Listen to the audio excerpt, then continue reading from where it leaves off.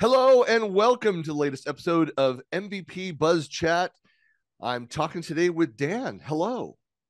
Hello, Christian. How are you?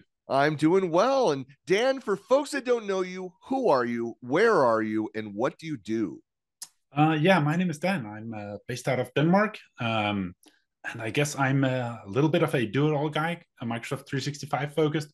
So SharePoint teams uh, come from a development background. I do a lot less development than I used to, uh, but at the same time, I, I try to get that in there. Um, so obviously, with the recent times, focus on Copilot and all that stuff. I think we're all going to be Copilot MVPs. That's what I think Microsoft is is gearing up towards. The other thing is too, it used to be that you really could focus in on one area, one product. I started as a SharePoint MVP. It's hard to do that now because we do we touch so many of the different products um, so there's a lot of cross pollination. Yeah, I mean that's the thing I found too is like whenever we we onboard new developers, we sometimes get them they've maybe never touched SharePoint, they've never seen the Microsoft platform, and they'll go, okay, so I'll create a team, and then you go, yeah, but do you realize what that's doing behind the scenes? You're now creating a SharePoint site, you're now creating a Microsoft 365 group. What is that? Like all those things interact in a way that's just like complex.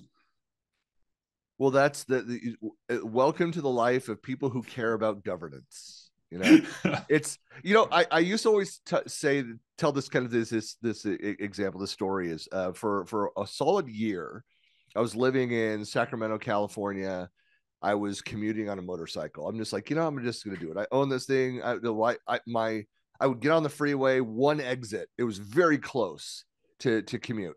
Did that for a year at the end of the years, it's starting to get cold, I had a jumpsuit that was weatherproof that I'd put over my work clothes. Uh, I parked my motorcycle and it got crushed. Somebody backed into it, ran over it while it was parked. Thankfully, I wasn't on it. It was an accident.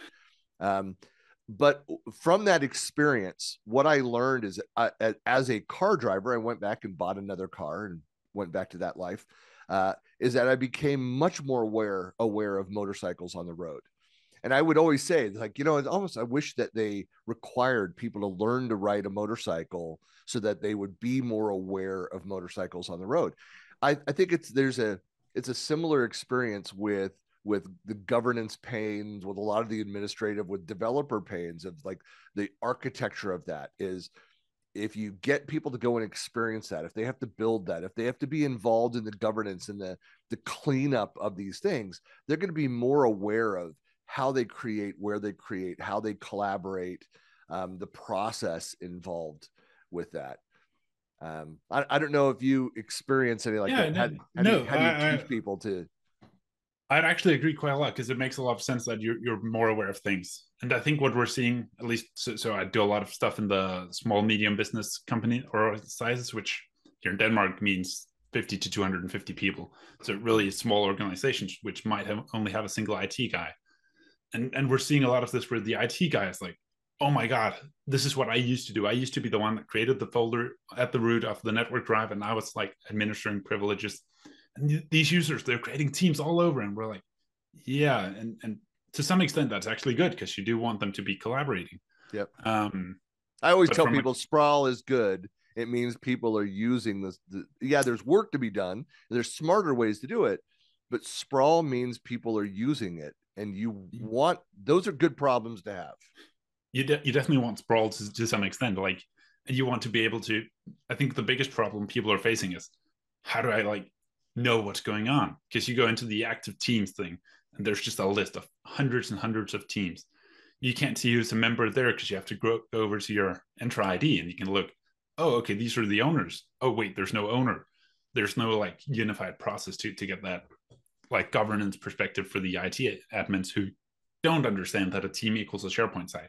They'll see a SharePoint site that takes up 100 gigabytes. They'll go delete and suddenly everyone's running around screaming like what's going on yeah, that's uh, it, it, It's a fun life. Is that? Uh, do you focus at all on governance as a topic? I mean, what are you What are you uh, writing about? Or, or actually, what what is what are your primary contribution types? Let's start there. Yeah, well, let's start there. My primary contribution types are um, community code samples. So I do a lot of SPFX um, yeah. and share those out in the there's some sample repositories. Mm-hmm. Um, and that's really my main contribution type. Then I have a block where I write whenever I come across something like where I go, whoa, this is this is not how I expected it to work. I'll I'll put that there so I remember it for later. Uh, I used to do that internally on a SharePoint side, and then I went, well, why am I doing this only for me and a couple of colleagues when I could be doing it for the whole world? Uh, started doing that, and, and that's really my main contribution areas. Um, yeah. So and then I do a monthly summary, like pretty much everyone else does, where I do, hey, these are the 10, 15 things that stood out to me this month. Yeah. Um, yeah, that's probably my my primary contribution areas. So I know no speaking or anything yet. Well, that's see, that's it, it, so this that's not a unique stance too. I, I think it's a lot of people that come in and say, like, look, I'm not speaking at events around the world. I'm not that kind of person. I'm not a prolific blogger, writer, things around that. It's like, do I still have a chance? Do I have to do those things?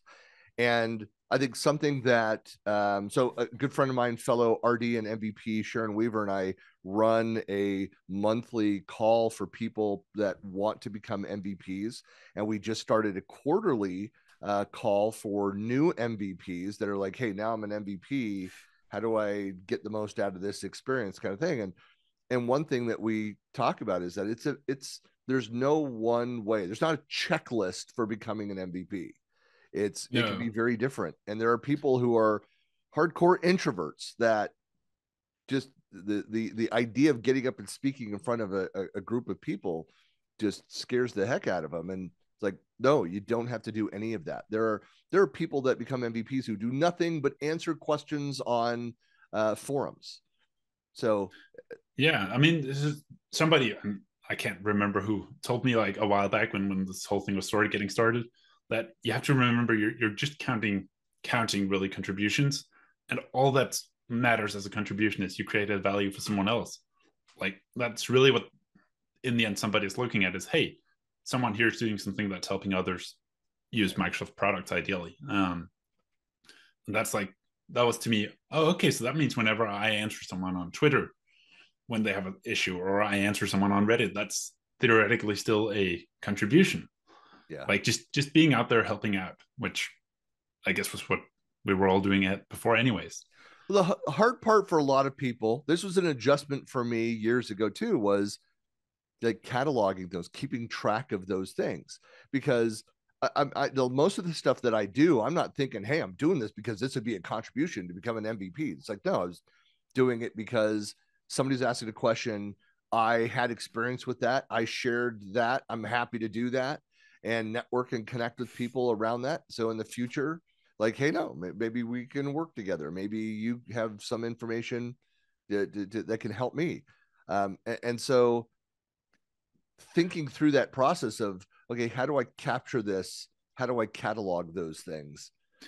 Yeah, I'll I'll say uh, on the development side that's pretty easy because I just go to my GitHub and I like get a CSV file of all my pull requests and I'm good to go. But yeah, for sure that's something where it's like you go through and you're like, well, I did actually help out at that conference. I volunteered to help because hey, I got to go to the conference for free and I got to help out a little bit. And that's one of those things where I'm like, oh yeah, I have to put that in as well because that's also helping out and that's also a valid contribution. Yeah.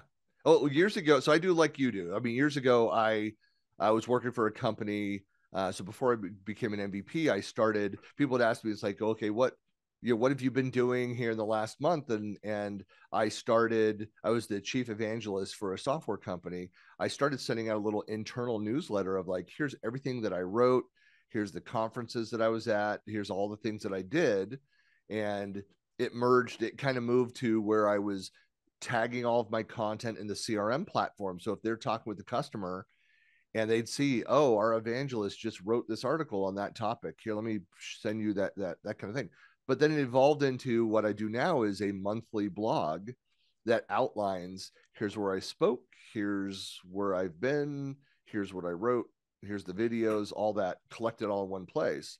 So, as we were talking about just before we started recording, the annual review renewal process for MVPs, I have 12 blog posts of the the previous year. I go back and look at. I know exactly what I was doing. Otherwise, I'd be looking through my Outlook calendar a year ago. What was I doing in yeah. April of last year? I, I set up a uh, a Microsoft list because just that's just what I'm used to, and I did that like whole filling in and like grouping them and trying to to get an overview of what's going on. How, how much am I doing? And and then you sit there and you go, I'm not doing enough to ever become an MVP. And then like somebody said, well, I mean, we can nominate you and see what happens. Because I think that's the the common thread I'm hearing whenever I'm talking to other MVPs is they all go always go, I'm not sure I did enough to get renewed.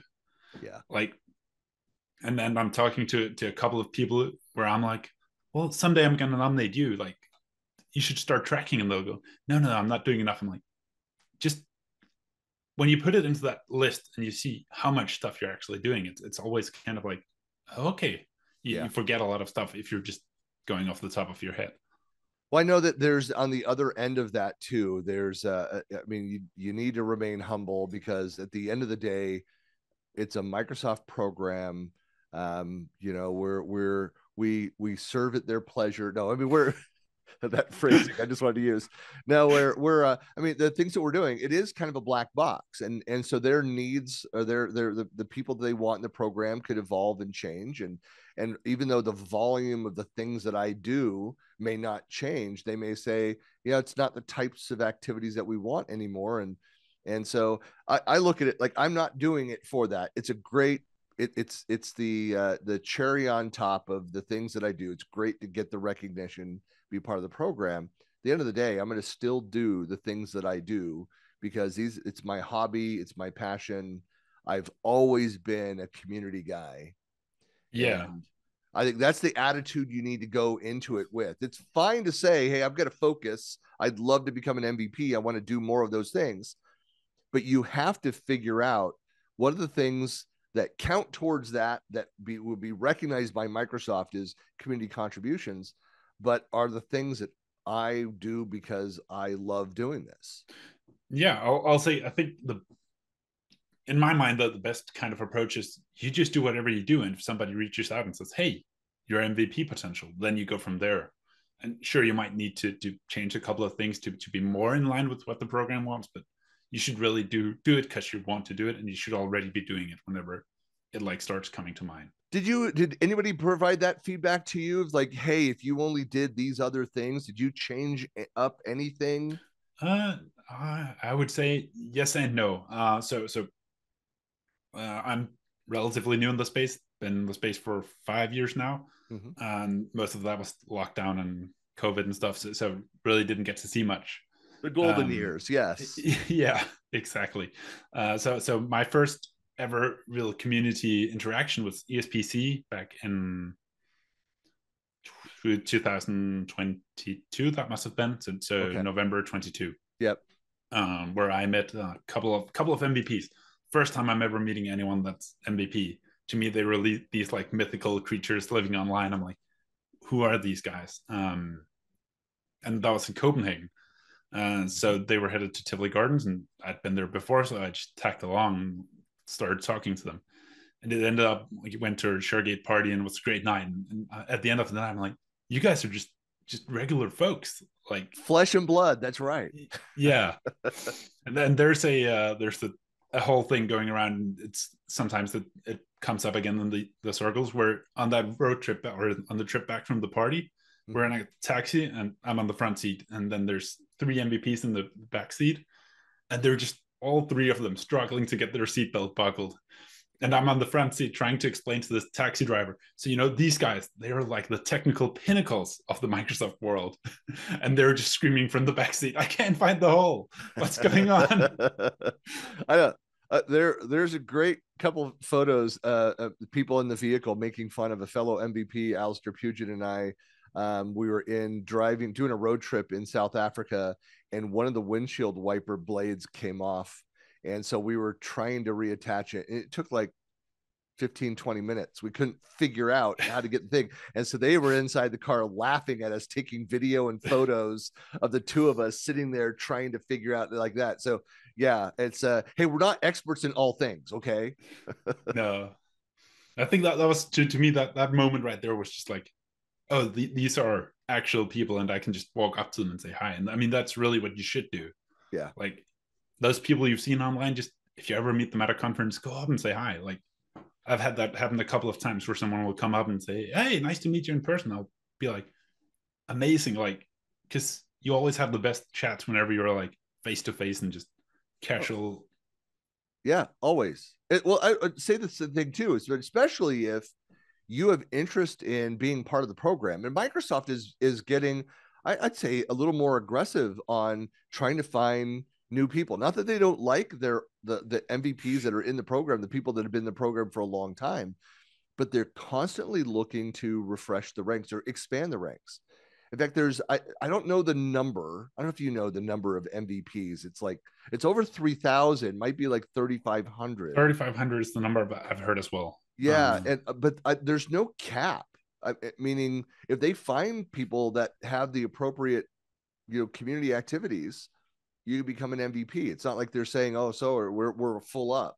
Um, so if you're interested in becoming an MVP and you you are doing things, reach out to an MVP. Dan and I would be happy to talk to you about it.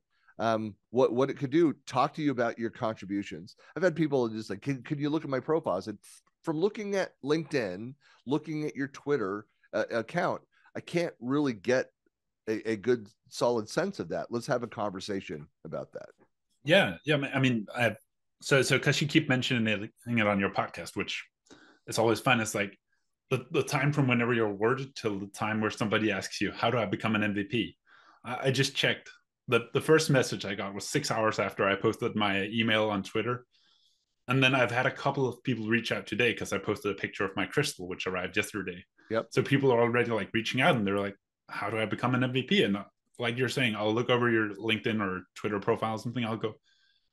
I have a hard time seeing what you're doing, but but send me a list of where you are doing stuff, and I'll help you yeah. promote that as well. Yeah, because that that's the thing. Like when you're getting started, I remember I had maybe 10, 15 followers on on X, Twitter, and it's like whenever you post something, it doesn't really you get maybe one two likes, but then eventually somebody picks it up and retweets it, and it will be like just rolling from there. Yeah, it, it's funny how uh, there was a study that was done years ago. Uh, so I, I'm a big social collaboration guy, and so you know, going back to the late '90s, um, uh, there was a study that AOL did. People like you know AOL. You remember you know AOL, which was you know huge at the pinnacle, and then they kind of you know fell down. They completely shifted their business model. They they ended up buying like uh, Huffington Post and uh, you know, bunch of other tech sites, and they turned into this. This uh, again, they became very profitable. They grew, and but quietly in the background, people didn't uh, weren't aware of this. They did a bunch of research. This is about eight, ten years ago, is a while back, but they were looking at and studying what helps make normal content go you know viral not viral like suddenly two days later millions of views but but where people pick up that it gets a, a healthy level of engagement and it's when uh, it's not just like likes are not as strong of an indicator as you think. It's the interaction, engagement when people comment on things. And what's funny is that if no one's commenting, nobody wants to be the first to comment. If you see a bunch of conversation happening, you're more likely to jump in. So they actually did a study on that. And so that's why if you uh, want to get attention out there, you're writing good content, you've got 10 followers but if you start responding to other people that you like, commenting on that, and are writing something and at mention people, I mean, LinkedIn is incredible for that. Write an article, post it up there, and say, This is very similar to an article that Dan wrote you know, a week ago on this topic. It inspired me to go and write this. If they pointed to you at that based off of something you wrote, you're more likely to jump in, review it, comment on it, share it with your network, and you get that network effect. Yeah, absolutely. And, and there's also a, a I don't want to call it like a a a prestige level to it, but whenever you see somebody repeatedly answering other people's question, whenever they post a question, you, don't you assume, okay, this is actually a question where they are not doing something wrong. Like it's not a basic question. It's it's oh, this is interesting because I thought this would work. I want to go and, and investigate this. Like I'm way more driven to help out people who I know have helped me in the past because mm-hmm. you get that familiarity where you're like, huh, I know, I know that Christian usually knows what's going on with groups. Why is he saying this is an issue? Like yeah. it shouldn't be an issue. I'll go and test it on my tenant. Whereas if it's the first time I'm seeing you post, you just created your profile, I might be more likely to go, nah, I'm not going to spend the 10, 15 minutes I need to do to replicate this. Right. Um, well, that's why it, it, uh, uh, people do move it, you know, in circles that they're familiar with. I mean, we do that. I mean, that's just, Hey, that's life. That's the way humans work is that if, if I know you, we have this connection. I mean, just the fact that we've done now this recording, you know, if something comes up, we may you know for for a while we're going to see each other more within the social feeds around that we're more likely to engage and get a better sense of what you're working on. If i've got questions around spfx i might reach out hey dan is somebody i should go get an opinion on for this thing. Um yeah i mean you, and that, that's you need to you need to take that step though make those connections and reach out to those people. Absolutely and, and that's like yeah that's i guess that's how it is like you'll learn you got your struggle and sure, in, in, my circle, there's a lot more people who do SPFX than there might be in yours. And then those gaps in between those circles is what I find makes the whole MVP program really magical. Is that I know, oh, governance, I can reach out to to Christian. Like you, you get those pinpointers to people who who aren't working with different things than what you normally do. Right. Well, nobody can know all the answers to anything uh, but I know somebody who knows the answers. I know people, and collectively, they know everything. Yeah, uh, you might even know people in different time zones as well. Right. Like that's something I've come across is you're really struggling. This is a like serious issue. You need result now. Being able to reach out to someone maybe in a different time zone because maybe it's late at night in your time zone. Yeah, not, not a maybe. I don't I don't work with many people in my time zone. That's the thing. All of my the people I work with are in other time zones. So uh, it's why I don't sleep that much because uh, you know, I my I work with companies in Europe. I work with people and companies in my network in Asia Pacific. And the problem is, I'm in the mountain west of the U.S. and I don't know many people that work in in uh, time to just shift your own time zone. yeah, I I don't know. I just work on that. Well, you know how they say that like there's you know optimal times to to post content like on LinkedIn I was like, well, at, at like uh, 11 a.m. I was like, yeah, but it's always 11 a.m. somewhere. We work yeah. in a global community. Like, what does that even mean anymore? But yeah. Yeah. Well, and I, I guess because I, I do see it whenever I post something, like it will come in like a bunch of Europeans will like, and then later on, like it will move around the globe. Yep. You, you can see that pattern, surely. But well there's a longer a conversation audience. around that too about doing social promotion. You can't go you write a blog post you go tweet it out once like that should not be the end. You should have a strategy where you're going in with different tweets. Again this is a longer conversation because this yeah. So i do uh, marketing strategy. I do fractional cmo work for mostly isvs but in the microsoft ecosystem. But a lot of it is that no your strategy should be for every new blog post there's a minimum of four social posts for that single article. They're all different sometimes with different images always at different time zones is because it's a global community and you're hitting those those different areas. There's something i have to go and work on. Yeah it's well there's there's so much to be learned there but well dan hey, hey i've got to run but i really yeah. appreciate your time and i know we'll we'll talk more we'll i'm sure i'll see you at the uh, mvp summit next year absolutely for folks that want to get in touch with you reach out to you where are you most active socially where can people find um, you probably on Twitter. Uh, I'm active on LinkedIn as well, but I do post in Danish there since the majority of my connections on LinkedIn are still Danish. So, so, but the translate button I've heard works great. It does uh, work very well. So, uh, assuming you can uh, can take a little bit of uh, bad humor in Danish that is roughly translated, that's also a place to reach out. Um, but yeah, Twitter is for sure where I'm the most active. Excellent. Well, thanks so much for your time, and we'll talk to you soon. Yeah, talk to you soon.